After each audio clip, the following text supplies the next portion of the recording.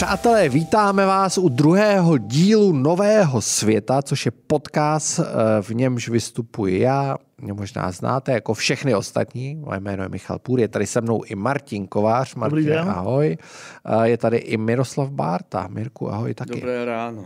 My děkujeme za ohlasy na první díl. Eh, bylo jich mnohem víc, než jsme si dokázali představit. Asi. Je to tak? Je to tak. Co Mirku, co tomu no, říká? vy máte omezenou fantazii. Já jsem to čekal, že budeme v první desítce za 24 hodin, no, to se nepovedlo. To se nepovedlo, jsme v první patnáce. Nicméně, uh, jak vidíte, uh, Mirek alias profesor Barta sedí jinde, protože se bojí, že mu Martin vypije kafe. To je ta a, inovace. a, a kamufloval to tím, že se budeme takhle točit, aby to nebylo nudný. Tak to je, ale to je jenom trik ve skutečnosti do tu kávu. Přesně tak. Tak uvidíme, kde bude sedět příště. Nicméně, uh, my se zabýváme změnami, které se dějou. Uh, zatím se držíme nějakého regionálního rozdělení. Minule jsme řešili Evropu. Dneska budeme řešit Spojené státy, což je naše asi všech oblíbené téma. Uh, já oblíbená to, země. Oblíbená země. A já to vykopnu, všichni by čekali, že se zeptá Martina, který samozřejmě se na historii Spojených států specializuje, ale já to vykopnu na Mirka. Protože ty jsi strávil teď docela dost času ve Spojených státech a obecně si strávil hodně času ve Spojených státech. Uh, přednášel jsi na Harvardu, pokud se nepletu. Je to tak? To, byla předná, to byly přednášky, ale učil jsem na penu. Učil jsi ve, na penu. Ve Filadelfii. Uh, ta změny, které se dějí ve Spojených státech, schrnu polarizace, ale zároveň si furt zachovává nějakou jako technologickou dominanci. Viděl jsem dneska graf investic do umělé inteligence. To je jako pro Evropu hodně smutný uh, vidění. Spojené státy válcují i Čínu jako úplně drtivě. Ono, že ti teda do toho hned vstoupím, ono v to srovnání s Amerikou je pro Evropu v řadě ohledech smutný jako čtení. No a tohle je teda jako úplně šílený. A říkal jsem si, že Mirku, mm, vykopnu to na tebe, že by mě to vlastně zajímalo i z toho univerzitního akademického pohledu. No, tím se dá pěkně začítat a veselé nezačneme, teda předpokládám. uh,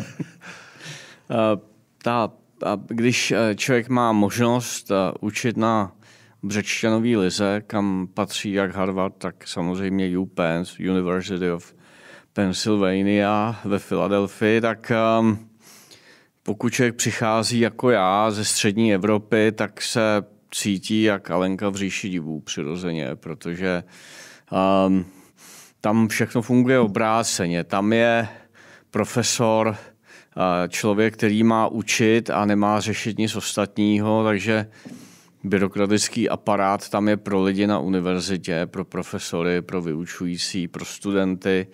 A není to naopak. Na to my jsme zvyklí tady, že my jsme tady pro ty úředníky na těch univerzitách a fakultách.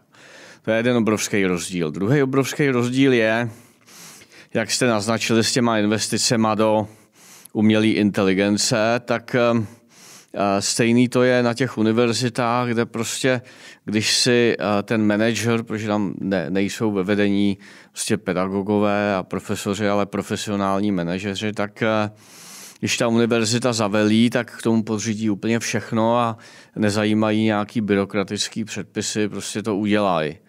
A to se projevuje mimo jiné v tom, že knihovny, laboratoře jsou otevřený 24 hodin denně. Jo. Už před 20 lety na univerzitě prostě dostanete jednu kartu, na kterou otevřete úplně všechno a když jste navíc profesor, tak třeba neexistuje kniha, kterou byste nezískali, jo, protože v rámci té Břešťanové ligy prostě ty knihovny jsou tak propojený, že prostě není kniha která, na světě, která by tam která by tam asi nebyla. Možná nějaký opravdu podivný tisky, ale jinak úplně všechno. Tak Amerika pro mě je a vždycky byla a furt je zemí, kde když člověk ví, co chce dělat a je najatý za to, co umí, tak vlastně nemá, nemá příliš, uh, příliš překážek v tom, aby naplno se mohl soustředit na to, co chce dělat. Takže v tomhle ohledu Amerika pro mě stále zůstává tou nejlepší zemí na světě pro vědu. Martine. No, to se... To se, to ty, se... Jsi, ty jsi hodně napsal o Americe. To se, to se, nedá, to se nedá asi jako popřít to, co říkal Mirek. Zároveň také si vzpomínám na jednu historku, kterou mi Mirek vyprávěl po jedné z návštěvy z Ameriky poslední, když říkal, že jo, kolega poprosil, jestli by, jestli by se nemohl vyvarovat oslovení ladies and gentlemen na začátku, že by mohl mít těžkost. A místo to říkal, tak jste říkal, hello everybody. No. To bylo v roce 2018. Uh, jedna, no 2019, jedna z posledních cest, co jsem měl. Um, a součástí té cesty uh, byl náš společný projekt, tehdy naš, vyšla naše kniha um, um, um, um, Complex Societies, nebo jak jsme to pojmenovali, anglickou monografii. uh, Regeneration, tak nějak se to jmenovalo. Hm? A já jsem ji tam uváděl a na, na Harvardu ve velkém auditoriu jsem měl mluvit i nejen o starém Egyptě, ale i o těch teoriích o kolapsech a regeneraci. A, a Peter Manuelian, profesor dneska na Harvardu egyptologie, si mě předtím vzal stranou a říkal, jako starý Evropan, protože on naopak zase strávil řadu let v Německu, říkal, hele, ty si přijel z Evropy, tak jenom tě upozorňuju, žádný ladies and gentlemen. A, Už si a, vzpomínám, promiň, dear all. A, řík, a já jsem říkal, a jak mám eh, ten sál, a bylo evidentní, že bude plný 300 lidí, eh, oslovit a on říká jednoduše, buď nic, nebo řekni D-roll. Tak jsem tam vešel, Petr mě představil a já říkám D-roll a musím říct, že to byl velký, velký nezvyk a dneska prostě neexistuje, když jsme tady u těch oslovení někomu mm. v Americe, třeba při imigraci říct hello sir nebo how are you doing ma'am to prostě je, nevím, jestli by mě pustili, když by... Je pravda teda, že ale Dear All dost zdomácnilo, nebo obecně jako je to hodně používaný. Teď jsem si uvědomil, že když já píšu třeba omlouvám syna, to jde to na několik jako Uh, taky adres. to píšete anglicky. No jasně, jasně. píšeme to anglicky. No, to taky píšeme anglicky. Tak i, i Čechům. No. Jo. Uh, tak píšu vždycky Dear All a vlastně teď jsem si uvědomil, že to asi není jako úplně nej, nejstarší oslovení. Na tom je totiž vidět, jak ta Amerika je invazivní. Jo? Jak, jak, je, to se tak jako mezi lidem říká. Ona to je pravda, že to, co se objeví v té Americe, je jen otázka času, jako lehkého čechého spoždění, než to potká tu Evropu západní a než ty západní Evropy to uděláte někdy, teda pak ten dokrok, takový to dokročení jako do těch našich končin. Je to nemilosrdná pravda. Je to, nemilos, je to, je, je to nemilosrdná pravda a v té souvislosti, ke které se teďka dostaneme, eh, bez ohledu na to, jak se vede debata o tom, jak ta Amerika upadá, všechno, tak a jak už to není to, co to bývalo, tak to je, to je k debatě, ale pořád jako dynamika ty Ameriky je tak jestli ten západ má v něčem naději, tak já i pořád jako tu naději vidím v Americe a v tomhle jsem jako, jako úplně fantasticky proamerický nebo uh, oceňuju tu Ameriku. Když, takže když to říkal Mirka na začátku, tak mě to všem problémům navzdory, a dneska o nich budeme hodinu mluvit, jo, tak navzdory tomu, jestli ten západ má v něčem jako šanci být lídr, tak, tak to rozhodně teda při vší úctě nebudou francouzi nebo belgičani, ale, ale ve všech ohledech američani. Ta ekonomická síla, strašná hromada peněz, vojenská síla dneska a taková ta, ta, ta přirozená, co v nich furt je, ta dravost. Americký sen není mrtvý mýtus. Tak. A teď to zažíváme, že každý, kdo si otevřel noviny, eh, tak si mohl přečíst palcové titulky oznamující, že Volkswagen bude stavět gigafactory eh, v Americe a ne v Evropě. Právě protože ty amíci, když si vemou něco do hlavy, eh, tak obvykle to eh, prosadějí a udělají. V tom je ta země naprosto úžasná, jak přesto, jak jste oba řekli už, že má svý aktuální problémy, ale je potřeba říct, že tady nemluvíme o nějakém slepém obdivu k Americe, ale prostě ta země je tak heterogenní, tak různorodá, tak velká a má ty vize a ideály, že prostě zvládne i veliký krize, který by třeba Evropa zdaleka nezvládla. Podle mě často, ještě do toho skočím, eh, podle mě často totiž lidi eh, porovnávají s Evropou a teď myslím jako vizuálně porovnávají Spojené státy s Evropou, což je nesmysl. Já si pamatuju, když jsem byl po, po Americe, což, což už je taky dlouho, tak to bylo v New Yorku a bydlel jsem uh, vlastně v Brooklynu, ale ještě jako úplně v té nejkrajnější části, kde to jako nevypadá jako na Manhattanu. Jo. To, je, to je trochu jiný to Oděsa už je jako taky kousek, taky to tam nevypadá jako na Manhattanu. A pro člověka, který je jako to vidí nově, tak je to pro něj vlastně šokující, protože to je někde na pomezí jako vyspělého a třetího světa. Jo? Takže uh, prostě ten, je tak heterogenní ta země, se střídají ty, ty rázy, ty kultury, že když to člověk porovnává s Evropou, tak mu to přijde nekomfortní. Jo? A ono to je asi nekomfortní, protože ten život je nekomfortní v mnoha ohledech, nicméně uh, je dynamický. Ty vizu, jako ta, kdo tam není, nebyl ta vizuální podoba. Ono to vypadá jako na západě, tam jako zdánlivě, to, co známe. Je to, a to, to bych dal, jako to bych předeslal před tím dneškem za mě. Jo. Je to úplně jiný svět než Evropa. Jo. Je to úplně jiný svět mnohem tvrdší, nemilosrdnější, ta, ta konkurence kompetitivy je úplně někde jiné než v Evropě. A ještě k ty v souvislosti, jak, jak, jak, jak všichni vzlížejí nebo nevzlížejí k té Americe, stačí se podívat na čísla, eh, které nejžád, kam, kam nejvíc lidí utíká nebo kde chce nejvíc lidí být jo, všemu navzdory a tomu, co zase to, co nás teda čeká, tak je to furt suverénně úplně drtivě Amerika. Jo? Není to Švédsko, a není to Španělsko, a není to Bělorusko, jo? a není to Čína, není to Indie. Naopak čínský a hlavně indický elity, všechny, jako všichni chtějí být, jako, jako být to vzdělání americký. Tak takový úvod myslím pěkný. Úvod pěkný. Uh, pojďme na témata, tak jak si tady uh, Martine napsal, protože jsi náš vrchní scénárista. Eh, otázka přistěhovalectví, což je ta heterogenita, to s tím do značné míry souvisí. A myslím si, já si pamatuju, když jsem byl na Gimplu, co eh, jsme někde v roce 93 až 97, tak eh, Spojené státy měly podle mě něco kolem 230-250 milionů obyvatel. Hmm. A myslím si, že těch 250 milionů má minimálně naše generace jako usazený v hlavě. Jo? A když se člověk podívá dneska, kolik mají? 300, 310? 320, 330. 320, 330 milionů. Tak si vezmi od těch začátku no. 90. let, za 20 let, 25 let, za čtvrtstoletí přibylo téměř 100 milionů obyvatel. No. To je neuvěřitelný. A teď jo, je to úplně jiný demografický trend, než má třeba Rusko, tak to je podstatná věc. Druhá, a teď to, co s tím souvisí, jo? to jsou nevýhradně, ale z velké části to jsou ty latinos. A to je etnikum na základě zkušenosti nějaký, které s tím mám.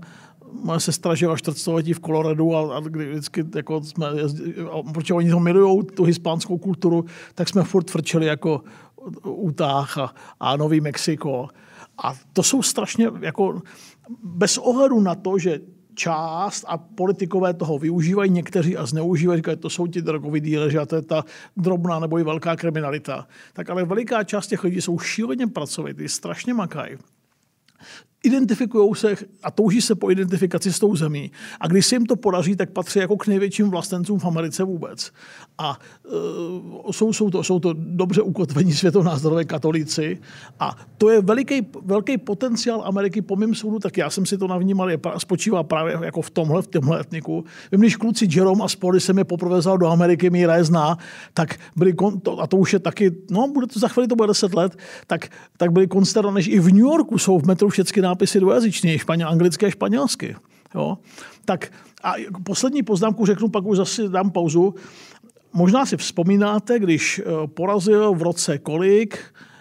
Uh, 10, 16, 12. Když v roce 12 porazil Barack Obama Mita Romneyho v prezidentských volbách a Romney byl za republikány nepochybně naprosto kompetentní kandidát, jako vyzrálý a dospělý ve všech ohledech, a, a, a Obama mu dost výrazně nařezal, tak psali všechny skoro úplně komentáři, říkali, uh, pokud ta, tahle volba jasně ukázala, že pokud republikáni nezmění přístup uh, úplně volební a strategii, už nikdy v životě nevyhrajou americké volby. Mimo jiný proto, že nejsou schopni oslovit třeba ty latinos, ty, ty hispánce. A za čtyři roky Donald Trump, a teď ho nehodnotím, jenom konstatuju, že dokázal v 16 a 20 dokázal získat takové množství hispánských voličů a republikáni jako takový, o kterých se jim dřív vůbec nesnělo. A do budoucna osobně si myslím, že, že eh, rostoucí počet hispánců ve Spojených státech je veliká karta pro republikány, čím jsem vlastně pomalu na jako politiku. Mirko. To je, si myslím, strašně důležité konstatování, ta tvoje poslední věta, Já si vybavuju do dneška ten můj show, když v roce 2003 pár minut potom, co jsem si otevřel konto, u, tuším u PNC Bank, tak jsem šel na terminál aktivovat kartu a tam to na mě zašlo mluvit opravdu dvojjazyčně. V roce 2003, nejen anglicky, ale samozřejmě španělsky. Hmm. A, a to jsme teď o 20 let dál, pardon, promiň.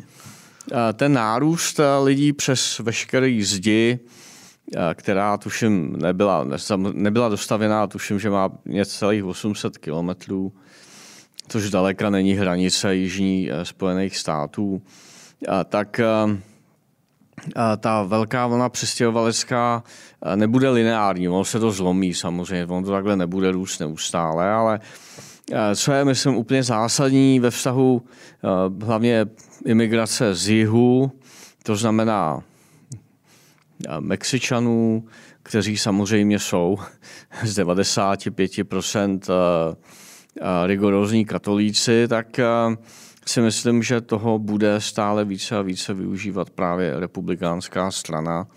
Něco si budeme povídat, voké kultura a těžko jako osloví tadyhle tu obrovskou, obrovskou masu lidí, kteří prostě něčemu věří. Jo. To Nebo ně... a Hispánci to v 99% kontradikce pojmu. To, to pro ně prostě není, není relevantní světonázor. A a ukážou to už teď, ukážou to už teď ty volby, jak, jak to bude dopadat, protože určitě na to dojde, ale všichni tuší, že Amerika je v obrovském, eh, v obrovském eh, tempu, kdy se ty věci mění zásadně za pochodu a, a myslím si, že se dožijeme ještě jako významných překvapení v těch dalších dvou letech v oblasti geopolitiky, jak a zahraniční, tak v rámci Spojených států jako takovej. A poznámka k tomu jenom doplněk, roste výrazně význam těch jižních států, který byl vždycky Naprosto. důležitý a ne náhodou zrovna guvernéři tamních států Ron DeSantis, guvernér Floridy, který je samozřejmě bilingvní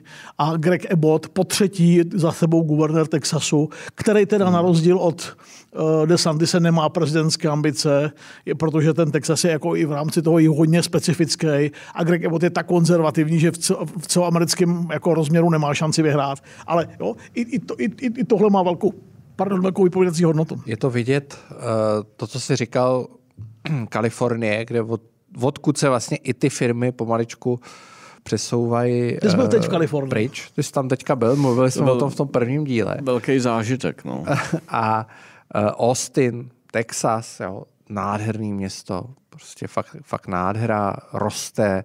Je to ta Kalifornie někde ta dynamika. 90. let. Jo, ta dynamika. Silicon Valley, přesně tak. Ale nejenom tam, ale je to vidět, eh, jak se teď řeší takový ty vouk témata, přeoperace dětí, jo, změna pohlaví u dětí, tak postupně přibývají státy, které to zakazují. Jo. Je vidět, že prostě ta země je rozdělená, ale uh, pokud my máme dojem, že ten vouk roste, tak to tak jako asi ve skutečnosti úplně nebude. Jo. Vzniká, tam, uh, vzniká tam zjevně velký odpor vůči tomu a zdá se mi, že i, a teď uh, třeba pochválit Joe Bidena, i Biden sice na začátku nějaký ty témata hodně tlačil, ale taky je docela opatrný. Jo? I Kamala Harris, jeho viceprezidentka, kterou lze označit za jako jednoznačně vouk uh, osobu, tak uh, se neprosazuje. Joey, Joey teda drží v patřičných Totálně, mezích. se neprosazuje vůbec, zla není vidět, jo. prakticky neexistuje. To, tom, tom, což mi, což mi první historický exkurs, tak co byste čekali, máte tu mě, když se ptali Nixona, když nastoupili do druhého období, eh, když dělal viceprezidenta Eisenhower, jaký to je. A Nixon říkal, viceprezident Spojených států, to je nejzbytečnější, si formálně jste druhý muž v zemi, ale je to nejzbytečnější jako funkce na světě. Jo. To jste jak prodavač jako vody. Jo. Diku nemohl by zaletět do Větnamu, Diku nemohl bys odletět do Buenos Aires, Diku, nemohl bys přijet na svaz průmyslníků v Kalifornii. Tak k tomu, a teď k tomu ale vouk poznámka, k tomu, to je, jakže to vouk, jestli roste nebo neroste. No, my máme při pohledu na to, to a to je otázka potratu třeba jednu dobu, byť to, to hodně, hodně to bylo téma, byť ne tolik, jak sami demokrati čekali nakonec. Jo? Tak my se na to pořád díváme, na tu Ameriku v tomhle, vzpomeňme si na běsnění na českých sociálních sítích, návraty do středověku, etc tak my tu Ameriku furt nahlížíme neli českýma očima, tak řekněme evropskýma očima nebo západoevropskýma očima. A já se vracím k tomu, co jsem na začátku říkal, že to je jiný svět. No, kdyby necítil Ron DeSantis a Greg Abbott a Young Glenkin, virginský guvernér a další a další, kdyby necítili podporu těch lidí, tak někdy ta protipotratová, to zákonodárství nebude vypadat tak, jak vypadá. Jo? Prosím, neroubujme to naše vnímání světa na to americké vnímání světa je jiný. A e, není to tak, že by si zlí republikanští guvernéři řekli, tak to zaříznem a tak to bude. Ne. To samozřejmě koreluje s tím, jak, jak vypadá tamní populace a co si myslí. A to by bylo na samostatný veliký téma. Otázka víry a náboženství a, jeho, a důležitost těchto věcí ve Spojených státech, kromě několika evropských zemí, to je úplně někde jinde než tady na starém kontinentě. Tak to mě jenom přivedlo k tomu poznámka. Zaujalo, že si Mirek si přines eh, knihu Farida Zakary Budoucnost svobody. A mají tady sebou. A mají tady sebou. Proč ji máš sebou? Ne, proč ji tady máte? To bylo tady na poličce. Jo, já jsem si tím Já jsem si myslel, že jsi ji přinesl. Já mám jako Farida, Farida rád. Myslím si, že to je člověk, který má obrovský rozhled a samozřejmě každý z nás má některé názory, které jsou prostě k diskuzi, ale myslím si, že prostě jsme z oblasti lidí, kde se snažíme ty názory mít alespoň postivě podložený, i když nemusí nutně vždycky vystěhovat tu skutečnou podstatu. Ale zpátky k Americe a přes toho Farida, který, jak jsem řekl, že si ho vážím, tak jedna věc je, co, na co američani jsou velice citliví, je něco, čemu se říká output nebo taky delivery. A před několika lety ještě stál galon, galon prostě benzínu v Kalifornii nějakých 2,5, 2,5 dolarů. Dneska je to 5,10, 5,20 a to je něco, co teda američani jako velice, velice cítějí. Um, když se ještě vrátím k tomu svýmu pobytu, tak uh, musím říct, že jsem byl úplně v šoku, co se z města Los Angeles uh, za, za ty roky stalo směrem k horšímu. A vlastně to i potvrzuje skutečnost, že celá řada lidí, um, ne zrovna chudých, velice zvažuje, nebo to už udělali, a, a svůj přesun z, z, ze západního pobřeží na východní, konkrétně na Floridu, která je republikánská, republikánská. a a promiň, a býval to dlouho jako swing stát, jo? Bylo, dlouho to bylo a uh, navzdory, že byl tam dvě období, tam měl uh, Jeff Bush, teď tam má dvě období Ron DeSantis a Florida se pomalu přesouvá mezi státy, které začínají být jako, jako ukotveně republikánský. A Florida se v té debatě, bych ještě dodal, v Americe u těch obědů a večeří stává eh, velice, eh, velice eh, významným státem v rámci celého, celý, celých Spojených států. Jo. A poslední asi poznámku k tomu, co jste tady už do detailu poměrně debatovali, je to ta vocal culture. A nesmíme zapomenout na to, že většina těch dominantních amerických tištěných médií je furt po hříchu Manhattanská a Manhattan ať to je svět sám o sobě, Woody Allen třeba ho e, jako ze zásady neopouští, nemá to rád, jako odcházet Pokud netočí v Evropě, pač v Americe točit nemůže. Protože pro něj to je svět, tak potom když člověk jezdí po celé té Americe a vidí třeba severní Dakotu a Mississippi a, a, ty, a ty země Four Corners, a středozápad a podobně, tak zjistí skutečně, že Manhattan je zase, jak by američani řekli, far cry a de facto nemá, nemá relevanci v těchto. Jo, to je prostě místečko malý na, na východním pobřeží, ale ta Amerika není jenom o Manhattanu nebo o, o Silicon Valley. Doporučuji seriál Yellowstone, který se odehrává v Montáně. A to je, to je, to je jako opravdová Amerika pro mě, jo, která mm. jsou mhm. samozřejmě ty hodnoty úplně přeskládané. Byť se tam hodně řeší taky uh, indiáni a podobně a zacházení s nima v historii. je to motivem toho seriálu, ale je vidět uh, ta polarizace. Proto jsem o tom začal mluvit. Donald Trump. Mluví tady o Ebotovi, o DeSantisovi, eh, ale pořád pořád, když se podíváme do té republikánské strany, tak je tam tenhle, nevím, já nazvu ho slušně bývalý prezident, nechci říkat pošuk, jo, což asi je pošuk, ale...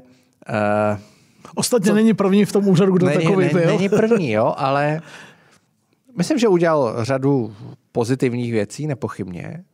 Uh, ne, myslím si, že jako jeho další vítězství úplně asi nepotřebujeme. I z pohledu evropského, což, no my určitě ne. což, je, což je důležitý pro nás samozřejmě. Nicméně, jak ho hodnotíš, Martine? A co si myslíš, že ho vlastně čeká? Protože hmm. ty si tady do toho scénáře napsal nepravděpodobné vítězství jo, v volbách na podzim 2024. Už naznačili midterms, v nichž Trumpovi kandidáti pohořeli. No, kdyby se mě zeptal, my jsme se o tom bavili, nevím, jestli s Petrem Kolářem nebo s Michalem Žantovským nebo se Sašou Vonrom, s některých z těch kluků jsme se bavili, kteří znají Ameriku dobře, tak v IMK jsme se o tom bavili. A myslím, že mm, Michal Žantovský nebo Petr Kolář říkali, no, kdyby se mě zeptal, nebo Saša, kdyby si před, před midterms, tak bych řekl, že má velikou šanci. A ty listopadové volby do celé sněmovny reprezentantů, kterou teda nakonec republikáni zmohli, Mají 200, tak, tak, 218 je většina, oni mají 222, ale ta strana není úplně jednotná, čili je to křehká většina.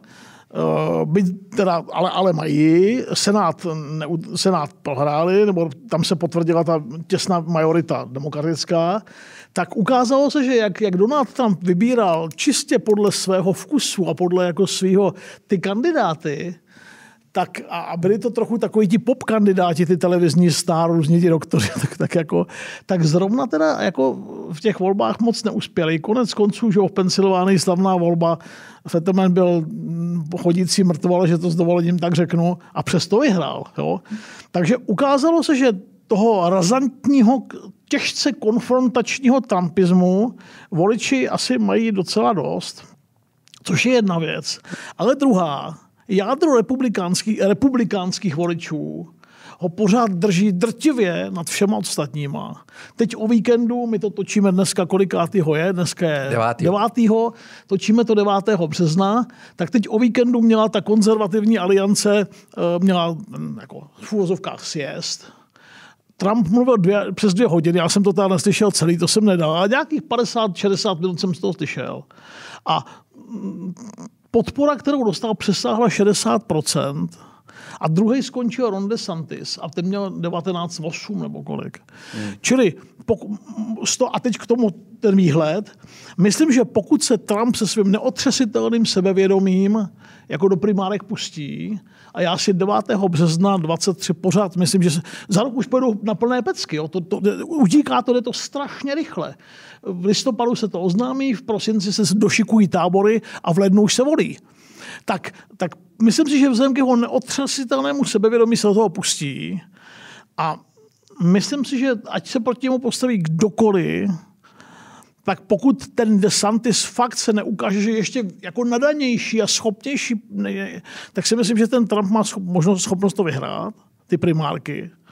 No, 40% republikánů, 35-40% bude ostře proti němu, nesnášejí ho. Mají pocit, že poškozuje tu stranu, že to nemůže vyhrát. Ale ten tábor stoupenců je tak silný, že to vyhraje. A, a, a pak si ale myslím, že to nemůže vyhrát proti demokratům, pokud nepostaví úplně někoho, kde je jako mimo. Mirku, když se bavíš eh, v akademické obci, a nebo v obecně při těch svých cestách o Donaldu Trumpovi. Bavíš se vůbec o Donaldu Trumpovi? Nebo Promiň, chtějí se to? oni vůbec tak. bavit? Eh, samozřejmě to jde, i když 90% eh, univerzitního prostředí je demokratický.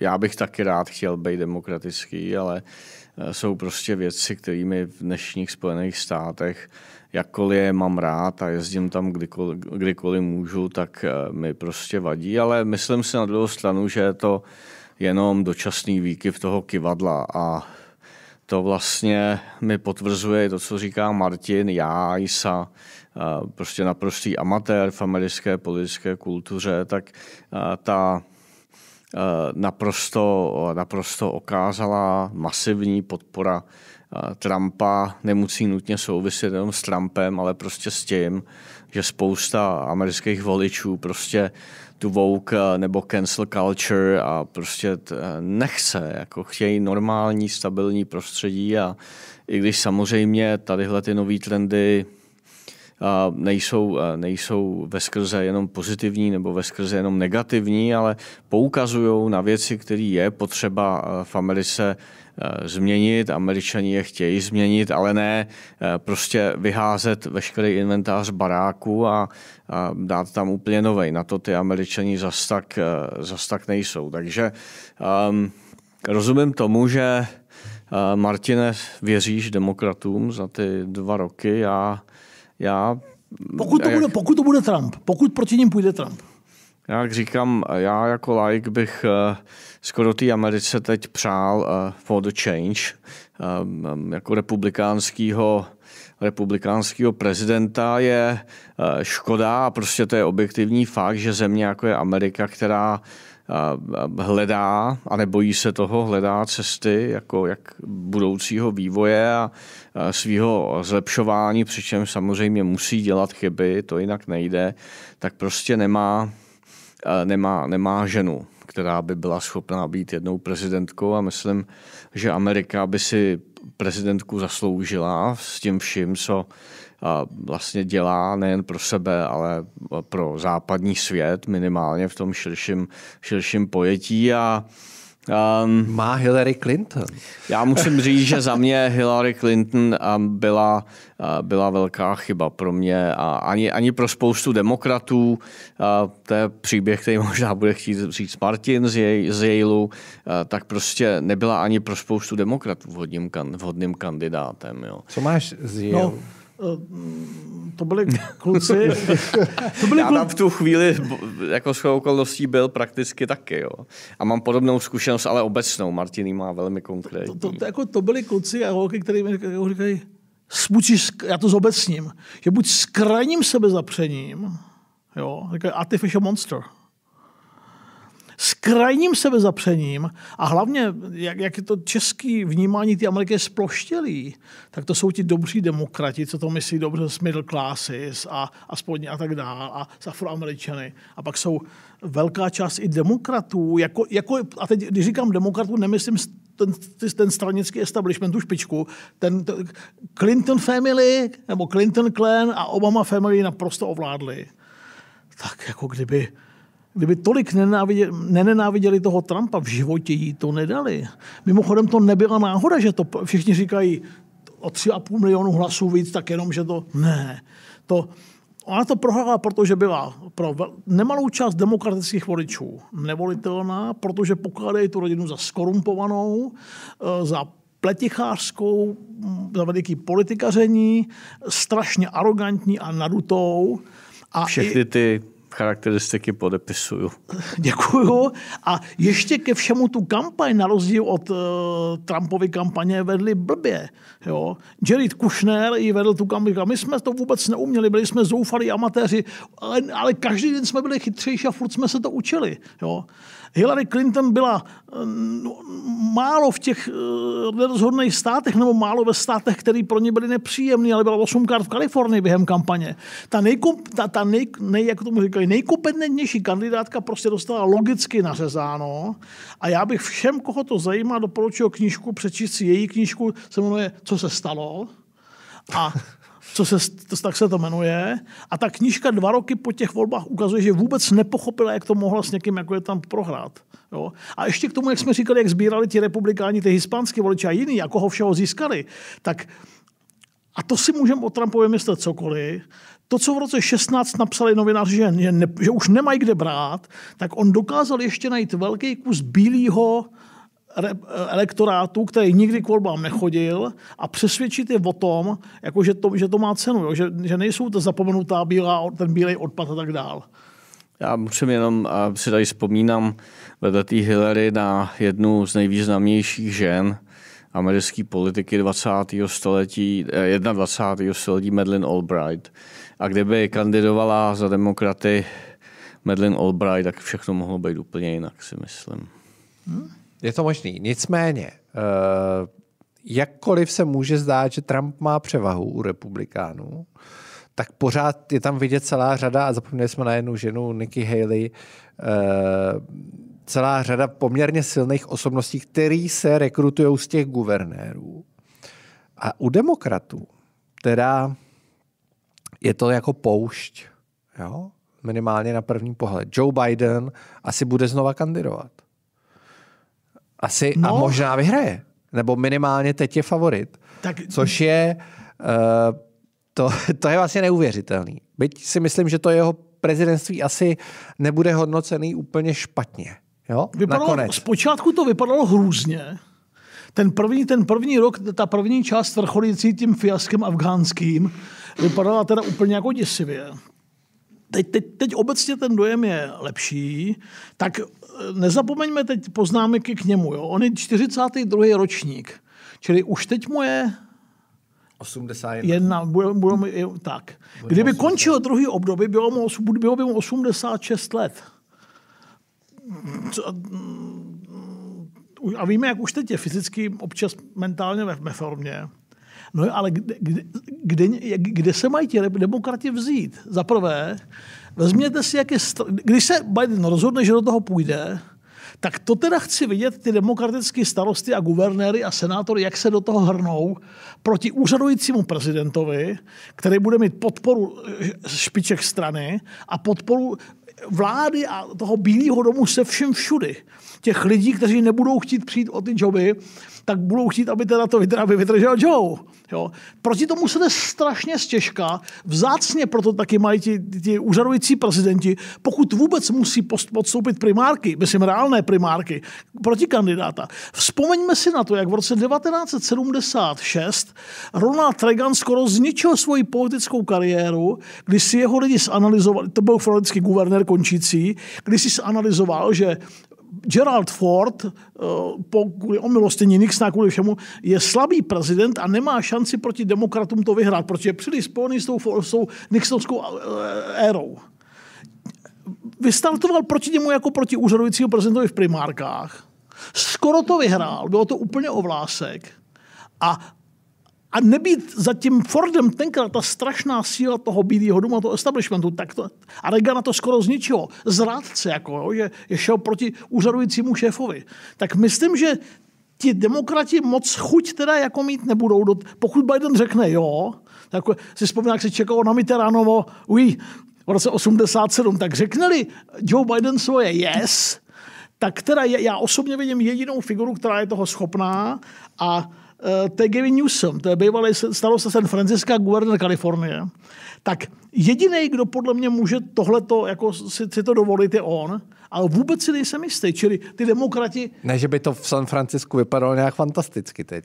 Jo. Ne, ale, ale pořád pro, pořád guvernér Kalifornie má jako svůj zvuk. Jo? Jo, jo, jo. Jo, je, to nějaká, je to nějaká, je to veliký stát, je to nějaká jako politická síla, ale kdybych si měl vsadit nerad teda, tak bych řekl, že se bude opakovat, ale vím, jak to je nevyspytat, proto taky říkám sázka, směju se u toho. Tak skoro bych jako 9. března 2023 řekl, že uvidíme mač ještě o čtyři roky staršího Joe Bidena s Donaldem Trumpem. Ze kterého vyjde znova vítězí. Ze kterého vyjde znova vítěz Biden. Mě tak jako... Já... Ale jo, nevíme, je, je to dlouhá doba. Já bych v tomhle případě, jak říkám, já jsem... Trump není jako o moc mladší teda. Ne, není to, pozor. To, ten... Z nás tří nejmenší znalec americké politiky, ale... Um, A zase to máš nejvíc načuchaný, to Ameriku. Uh, vzpomínám si, když jsme seděli uh, večer, když se rozjeli volby v Británii o Brexitu uh, v knihovně Václava Havla kde eh, Michal Žantovský položil otázku, kdo si myslí, že Brexit projde a, a byli jsme jediný dva, co zvedli ruku. No nedívala se na nás ta společnost jako laskavě. Dívali se na nás nehezky. Jo. My jsme teda jako odešli hned um, pak. Ale uh, já si myslím, že u uh, uh, v otázce případného znovu zvolení Joe Bidena hraje obrovskou roli sklep Jaký sklep? Co koukáte? Sklep. No, vybavte si, co předcházelo jeho první volbě. Prostě jeho několika měsíční pobyt ve sklepě. On nechodil mezi lidi. Byly tam jenom online ojedinělý přenosy a tak dál. Tak. A Joe Biden, jak, jakkoliv ho musíme respektovat jako prezidenta nejmocnější země na světě, i s respektem k Číně, tak eh, je to člověk, který ze sklepa jako mohl pomýšlet na vítězství v prezidentských volbách, ale když eh, není epidemie, tak ty prezidentské volby jsou nemilosrdným nejen psychickým, Fyzicky. mentálním, ale fyzickým maratonem. Je to o debatách, je to o formulování jasných věd. A to je něco, kde on eh, prostě bude prohrávat prakticky s jakýmkoliv oponentem na plný čáře. Jo. To tak prostě je. Jsou toho plný, plný noviny, plný videozáznamy a tak dál. Všichni vědí asi, co myslím. Takže já si dovolím, podobně jako u Michala Žantovského v knihovně, skoro říct, že nevěřím na to, že by dokázal být zvon, znovu zvolen. No, já to jenom do, do, dořeknu. Já si myslím, že je vyhratelný bude-li stát proti Trumpovi. Jo, to, to, se, to, bylo, to byla podstata té debaty. A seděl ve sklepě. Jo? A dokonce si myslím, že i bez toho sklepa. Hmm. Jo? Ona i ta kampaň jako bude úplně jiná, než byla ta covidová kampaň. Jasně, to je hrozně důležitý. On se vyhnul ty konfrontaci. Jo? Ty debaty byly dvě, tři takový jako ještě jako formální, divný. Jo. divný jo? A nebyly to ty veliký túry, ty veliký mítinky, ta, ta, ta, to jedno schromáždění za druhým. Ale myslím si, že zatímco Trump bude jako všude přítomný a bude hrozně moc řečit a bude pořád na očích, takže ten, když to ten Biden povede s ohledem na své síly, kdyby to vedl v kondicionálu, Kdyby to vedli jako staženě, umírně a čím méně toho řekl, tím lépe, tak si myslím, že je schopný to vyhrát. Jako to vyhrál než v Senátu Fetterman nad tím jako velkohubým trumpovským doktorem. Jo. Ale, ale přesně rozumím tomu, co Mirek jako řekl a podepisuju to. Jo. To meritum věci. Důležitá debata. Posunu, budu takový posunovač, eh, posunu debatu do toho spíš evropského pohledu nebo eh, v uvozovkách politicko-geografického. Uh, měli jsme tady bipolární svět, unipolární svět. Unipolární okamžik?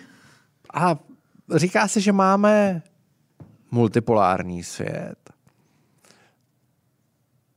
Čehož se ještě poměrně nedávno, dejme tomu dva, tři roky zpátky, říkalo, tři roky zpátky před COVID, říkalo, že zase míříme k nějakému multipolárnímu lomeno bipolárnímu světu, jakožto soupeření mezi Spojenými státama a Čínou. Nicméně, já souhlasím s tím, že ten svět je multipolární, ale, ale čekal bych rychlejší sestup těch Spojených států. A teď se vrátím k Trumpovi maličko. Jo. A zajímá mě, jak to vidíte. Uh, Trump vyhrotil to soupeření s tou Čínou.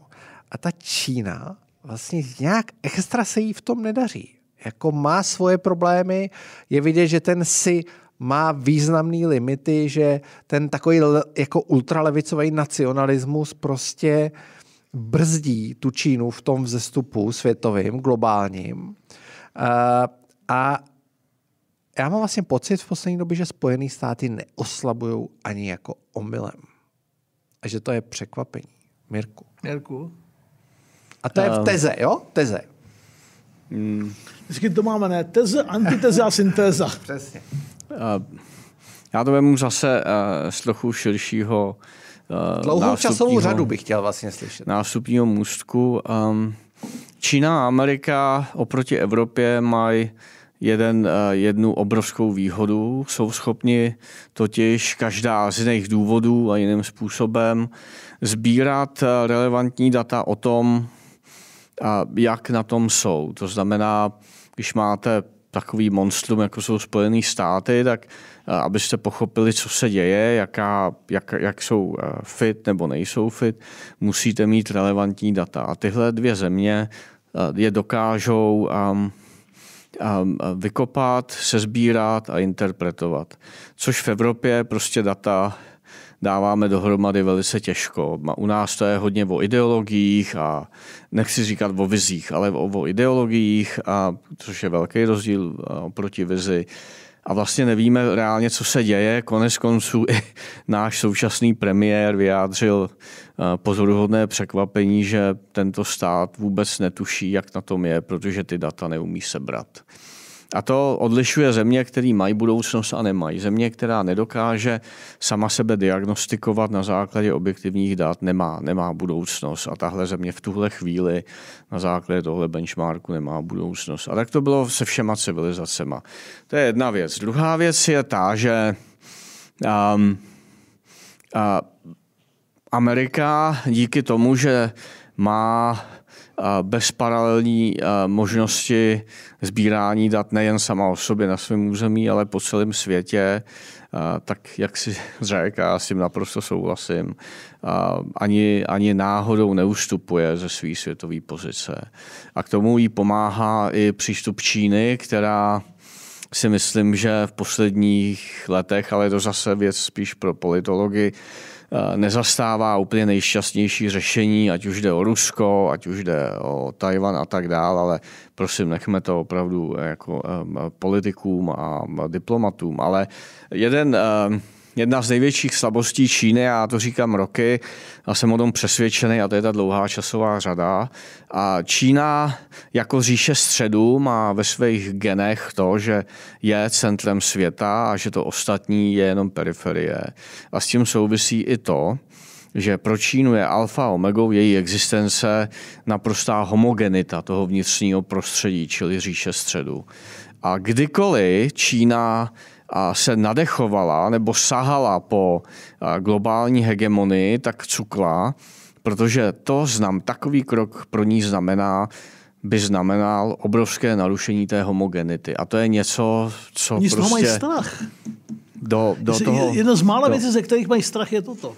Takže pro ně je alfa a omegou náboženským paradigmantem to, ta, ta, ta homogenita.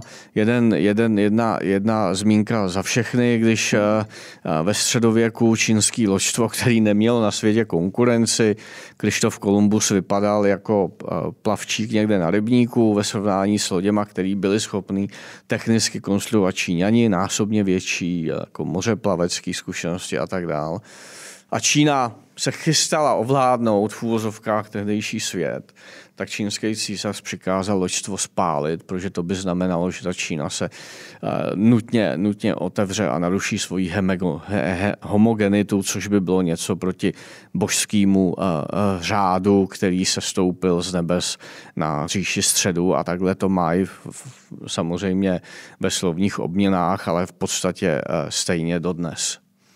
Můj názor teda. Takže Amerika v tom, jak je otevřená, jak se nebojí nasávat různý, uh, různý vlivy, různý názory, různé představy, různé trendy, tak samozřejmě někdy udělá prostě úkrok stranou nebo chybu. Ale obecně je to takový melting pot, který nemá, uh, nemá konkurenci, pokud jde o jeho inspirativní sílu. Mluví se o takzvaném americkém století, Eh, lidi to vnímají dominanci Ameriky, protože zažili ten, ten pád té sovětské říše, pokud to můžu říkat z říše nebo Sovětského svazu, tak vnímají tu dominanci Ameriky ještě od, toho 90, od těch 90. let, ale tak to není. Je to skutečně americký století, nepochybně. Uh, Martine, vnímáš to úplně stejně jako Mirek? Hmm hodně podobně, ne identicky. Jednou, nebudu mít k Číně, ale k té Americe to bipolární, multi, bipolární, unipolární, multipolární, to je multipolární svět z hlediska ty skutečný, jako real power, je politologický hrad, to jsou politologické hrádky, to se vymysleli polit, aby to bylo jako zajímavé, říkají Indie, Brazílie, ten, jižní, ten break země, Jižní Afrika, to je úplně komický, jako. Jediný dvě relevantní světové mocnosti jsou Spojené státy a Čína. Konec. Bez ohledu na to, jestli nějaké další mají nebo nemají nějaké zbraně a tak dál. A, a v tomto ohledu jsou relevantní a musí se s nimi počítat. A jedná se s nimi samozřejmě jinak, než se 100 milionů zemí, která takové zbraně nemá. Ale co se skutečný, jako když to nadřeď úplně jako ořežeme, tak jediný dvě země splňující ten jako podklad pro to, ta super power, ta super velmoc, jsou Spojené státy a jediný možný vyzývatel, jako je dneska ta Čína. A myslím, že Amerika vojensky nikdy nedominoval nikdo tak, jako dneska Spojené státy světu. A, a mm, Rusko podívejte se. Já si, Rusko, Rusko si pamatuju, jakou, jaký řev Rusů se postaral Barack Obama, když označil Rusko za regionální velmoc. A myslím si, a že teda to... udělal spoustu chyb, ale pravdu měl. A teď je to, teď je to pravdu Měl, no. Je to silná země, nepodceňovat Rusko může jenom blázen. Je to silná země uh, s jadernou výbavou prvotřídní, ale jako, e, je to úplně jiné kolbiště, úplně jiné hřiště, než jako jiná liga. Já to nerad používám, to, že někdo je jiná liga, ale, ale je to tak, když jsou prostě Spojené státy a ta Čína. Takže o, o tom, že jedno americké století je za námi a druhé americké století je před námi, za mě bez, skoro bez pochyb. Já s tím nemám problém, já si naprosto souhlasím. Hmm, Doufejme, že jo, protože z těch možností, tak. z těch možností, které tady jsou, a je tohle asi ta nejpřijatelnější, pokud se Evropa probere. V tom, a vracím se k Trumpovi, jeden z jeho velkých skutků, který jsem já ocenil jako občan Evrop, malinký evropský země, nevýznamný země, bylo, že přijel do Evropy a řekl, tak dámy a pánové, a tak řekl, on řekl, vážení všichni asi, jak, nebo jak to bylo v tom projevu, buď zvýšíte eh, svůj eh, podíl na, na zbrojení, nebo nemůžete počítat s tím, že američani tady furt po vás budou uklízet eh, to, co vy si tady jako vymyslíte. Jo. Jako si to... A uklízej pořád. Kdy, kdy, kdy, kdy, uklízej pořád. Jo kdyby na jaře v roce 1917 nevstoupily Spojené státy do války na straně dohody, no tak to Německo asi vyhrálo. Kdyby ekonomicky a vojensky nepodpořili od jeden od přelomu od 41 42 sovětský svaz a už předtím, kdyby tu nebyl zákon o půjčce o pronájmu, tak Británie by to nepřežila tu válku to, kdy, kdy nepodceňujeme invazi v Normandii D-Day 6. červen 1944. Jo? Dvakrát vytáhli západním spojencům v 20. století američani je, zachránili je doslova, nikdy vlastně úplně nemuseli, když to, to, to je pěkná historka, neříkali jsme ji minule, jestli je pravdivá, se neví, ale je, je charakteristická. Když eh, de Gaulle odváděl francouze na počátku 60. let eh, z vojenských struktur NATO a vedli na to téma debatu s Američani, tak ta historka se o Kennedy ptá, a ty mrtvé z Normandie si máme dovést taky, pane prezidente? A nejenom, že vyhráli těm Evropanům dvě války, ale ještě k tomu pak bezprecedentně půl století a vlastně dodnes nad nima drželi ten jaderný deštník. Takže za, ten, za, těch, za to prima půl století v západní Evropě od 90. let nad náma, tak za to zase vděčíme těm Američanům. Jo? Ono se jako, že vždycky ta, vděk nemůže čekat nikdo a když jste někomu zavázaný, ten, co je zavázaný, to má nerad. Jako, tak to vymezování se vůči Americe, který já v řadě ohledů chápu.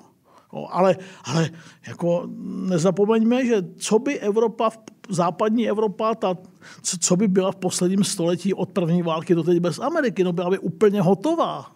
Jak ekonomicky, tak společensky, potažmo tak, tak demokraticky. Aspoň jako, aspoň jako špetku vděčnosti. Jo? To, nemusí to být jako taková ta všeobjímající vděčnost, jako měl Junichiro Koizumi, když byl premiér japonský, tak to říkal, W s tebou kdykoliv, kamkoliv, vždycky za to všechno. Tak to bych nečekal, ale, ale jako, no.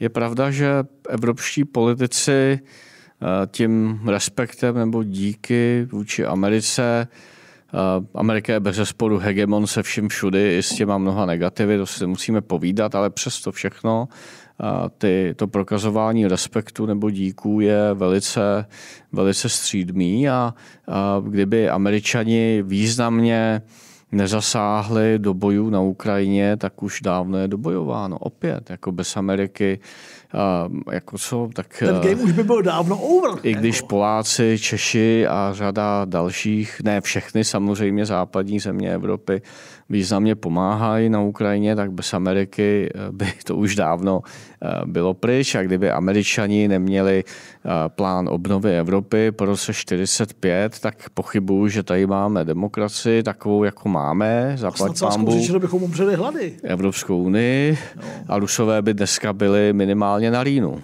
Jo.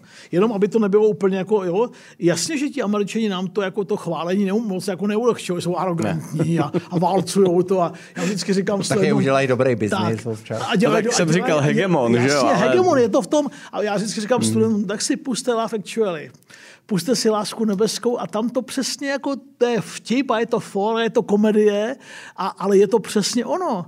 Jak, jak, jak ten prezent přijel, teď to dostali jsme všecko, proto jsme si přijeli a Hugen se pak z něj stane hrdina, ale jo, to je, to je, to je výborný. Mě vlastně jediný, co mě v souvislosti s tím napadá, je ta známá poučka, nebudu ji citovat o silnějším psu. O, O silnějším psu. A teď- Silnější pes. A teď nedávno co? posílal mi jeden kamarád, Viktor Orbán měl velký rozhovor pro nevím, nějaký švýcarské noviny nebo švýcarský časopis a on říká, jasně, že američani jsou, to jsou ti, jako co žerou maso, no tak lev vždycky žere maso, ostatní žerou to ostatní. Já jim to říká Viktor Orbán, já jim to nemám jako za se říká, lev žere první. Lev žere, no, tak to, Lev žere první. To říká řečeno. mimochodem Carlos Vémola taky. Ale to je, lvy žerou první. no, Tak. tak. Já myslím, že to máme. Druhý díl, děkujeme za 55, ohlasy. za 55 minut. Mirku, kam to jedeš vlastně? Do Egypta nebo Já do... teď jedu no, klasicky na, expedi- na krátkou expedici do Egypta. Tak A to je můj nápad, Egypt. ne. Příští Jako, díl. jako Egypt jako barometr ty, ty Afriky, Mirek severní bude- teda a toho všeho. Mirek bude plný eh, dojmů z Egypta. Uděláme Egypt. Měli bychom toho využít. Jako, Já- Já mu amatérský, já mám amatérský Tisíciletý- připravený scénář a tentokrát, jsem, tentokrát, mě ho, tentokrát mě ho zvalcuje. Ale tomu podcastu se zatím daří jako neskutečně dobře a já nevím, jestli chceme z těch pozic ustoupit. Jo. Tak, Dobře. ale napadá mě jako spousta témat. Že jo. Leadership, teď jsme měli Evropu, měli jsme Ameriku a Dáme Egypt do třetice. Dobře, tak dáme pyramidy, ať se mají uh, posluchači Dáme eh, Egypt na a co si- těšit. No, ale a- my bychom mohli dát třeba i klimatickou změnu v souvislosti s Egyptem. však to mi tak říkal. Dotkne, tam se toho dotkneme a pak je Arabský jaro. Arabský Arabský jaro je Arabský jaro, no. jako a významná věc. muslimského bratrstva z pozic v Egyptě. Když No. to vlastně nevíme, to ví Mirek. Hele kluci, já To už, se, víme, já, no. já už se na to teď těším. Já taky. Tak Já, já taky akorát musím eh, obhájit svoji pozici nezávislého hrnku s kafem, ale to já to nějak... A to se ti jako, dneska díky odsednutí podařilo. tak eh, děkujeme. a Děkujem. Mějte se pěkně. Děkujem, mějte se Budem se hezky. těšit. Pěkný Hezký všem. den. Hezký den.